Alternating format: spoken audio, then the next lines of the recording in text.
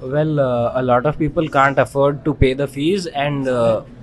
like when they are not able to pay the fees, the college refuses to give them hall tickets. The whole year or semester goes to waste. Main problem तो fees ही है मतलब वो ज़्यादा होने से हम लोग को पहले बोला जाता है कि स्कॉलरशिप से फ़ीस कम हो जाएगी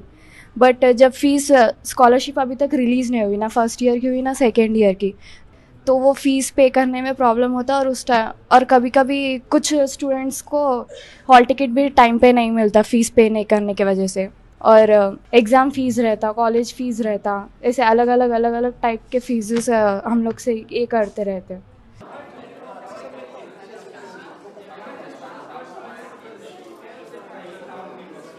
स्कॉलरशिप टाइम पे रिलीज़ कर दे तो स्टूडेंट्स के लिए हेल्प होगा। अभी डिग्री में बहुत सारे लोग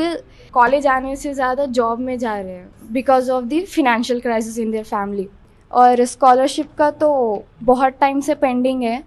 अभी हम लोग का फाइनल ईयर कंप्लीट होने वाला है अभी तक हम लोग के डिग्री के फर्स्ट ईयर का भी नहीं आया सेकेंड ईयर का भी नहीं आया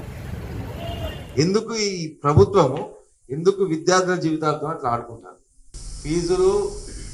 రియంబర్స్మెంట్ కొన్ని నాలుగైదేళ్ళు అవుతాను ఒక్కొక్కరు రాక అట్లా చదువు ఆపుకుంటాను